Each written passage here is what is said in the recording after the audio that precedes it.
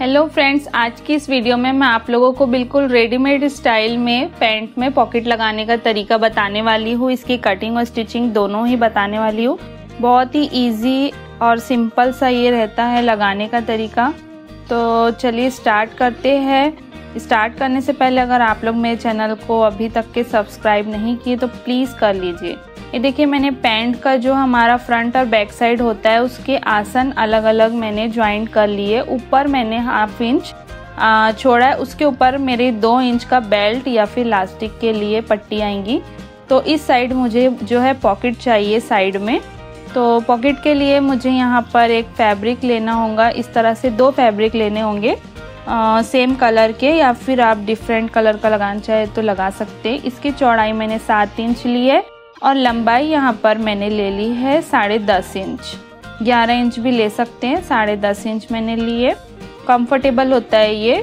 ज़्यादा छोटा इससे लेंगे आप तो फिर पॉकेट आपकी छोटी हो जाएँगी। अब ये देखिए, एक फैब्रिक को मैंने, एक कपड़े को मैंने इधर किनारे कर लिया है और दूसरा वाला जो है, इसके ऊपर मैंने बराबर से जमाया ऊपर से भी। और साइड से भी। इस तरह आपको बिल्कुल बराबर से जमा लेना है। अब यहाँ पर हमें जो है चौड़ाई पे से चार इंच पे निशान लगा लेना है पॉकेट का। इतना चौड़ा निशान लगाना है कि आपका हाथ जो है इजीली अंदर चली जाए।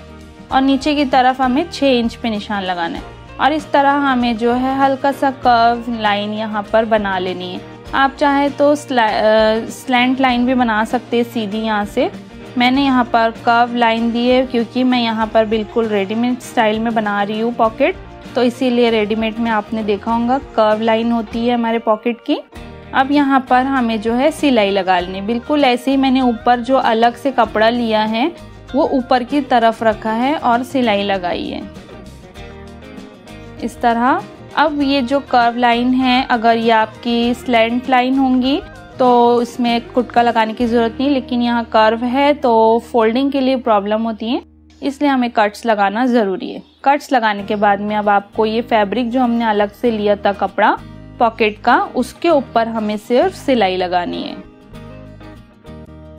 अपर स्टिच लगानी है यहाँ पर, ताकि ये अंदर की तरफ़ जो खुटके के साथ में फैब्रिक है फिक्स हो जाए। मैंने लगा लिया, आप देख सकते हैं। अब दूसरा वाला जो हमने कपड़ा अलग से रख दिया था, अब उसे हमें यूज़ करना है। तो यूज़ करने के लिए हमें इसे नीचे की तरफ़ रखना है। और यहाँ पर जो है हमें ये एल शेप में दो साइड सिलाई लगानी है। एक बार और देख लीजिए, ये मैंने सिलाई लगाई है फैब्रिक हमारा है। अब नीचे की तरफ़ हमें दूसरा वाला फैब्रिक जो है वो ले लेना है। और यहाँ पर जो है इस तरह से एल शेप में सिलाई लगा है अब यहाँ पर आप थोड़ा सा कर्व लाइन दे सकते हैं पॉकेट में। मैंने यहाँ पर सिंपल सा रेक्टेंगल शेप का ही पॉकेट यूज़ किया है। इसीलिए यहाँ पर मैं कोई कर्व लाइन नहीं दूँगी। ऐसे ही बिल्कुल इस रेक्टेंगल शेप में ही हम पॉकेट को सिलाई लगा लेंगे। अब कॉर्नर्स पे कट लगाएँगे ताकि इजीली हमारी नोक जो है बाहर आ जाए। और कट लगाने के बाद अब पॉकेट को हम सीधा करेंगे पलटाकर। इसकी जो नोक होती है, इसे हम किसी भी निडल की मदद से या फिर आप पेन पेंसिल की मदद से यहाँ पर बाहर निकाल सकते हैं फिनिशिंग के लिए। और दूसरी सिलाई हमें इसके ऊपर से लगानी है अपर स्टिच लगानी ताकि ये फिक्स हो जाए और फिनिशिंग भी हमें नज़र आए। तो इस तरह से हमने जो है अपर स्टिच लगा ली है। अपर स्टिच लगाने के बाद में अब हमें जो है पॉकेट को इस तरह से सीधा कर लेना है। पीछे की तरफ़ हमारा जो है, कुछ इस तरह बनेगा। अब साइड में हमें एक सिलाई लगा लेनी है और ऊपर की तरफ़ भी हमें सिलाई लगाकर इसे फिक्स कर लेना है पॉकेट को।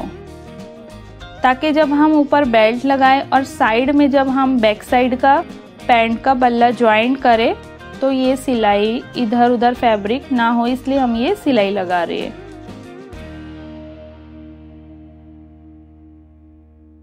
इस तरह जो है हमारा पॉकेट तो अटैच हो चुका है, लेकिन अब हमें इसमें बैक साइड का जो पल्ला है हमारा वो ज्वाइन करना है। तो ये देखिए, मैंने बैक साइड का भी आपको स्टार्टिंग में बता दिया था। ये थोड़ा चौड़ा होता है, ऊपर की तरफ़ से उठा हुआ होता है आसन, और दो इंच हमारा जो ये चौड़ा होता है बैक साइड उसका हमने आसन जोड़ लिया है पहले ही, जिस तरह हमने फ्रंट साइड जोड़ा था। अब यहाँ पर जो है, हम यहाँ पर सिलाई लगाएँगे। फ्रेंड्स अगर आप लोगों को पैंट की कटिंग और स्टिचिंग देखनी है तो मैंने काफ़ी तरीक़ों से, दो तीन तरीक़ों से पैंट की कटिंग स्टिचिंग डाली है। मेरे चैनल का विज़िट कीजिए। वहाँ जाकर आपको पैंट की कटिंग स्टिचिंग इजीली मिल जाएँगी। प्लास्टिक लगाने का तरीका भी डाला है बेल्ट लगाने का भी तरीका डाला है। आपको जो भी प्रॉब्लम हो, आप जाकर देख सकते तो ये देखिए, मैंने यहाँ पर साइड में हमारा जो बैक साइड था, वो भी सिलाई लगा के साइड की सिलाई से ज्वाइन कर लिया। पॉकेट हमारी रेडी हो चुकी है ऑलमोस्ट इस तरह से सॉरी पैंट हमारा ऑलमोस्ट रेडी है.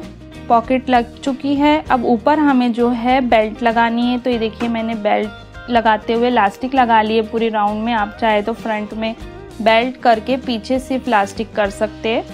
ये हमारा पैंट का पॉकेट बिल्कुल रेडी है. बहुत सुंदर इजी आसान तरीके से लगा. अच्छी लगी हो वीडियो तो लाइक शेयर कीजिए. Thank you so much for watching my video and bye bye.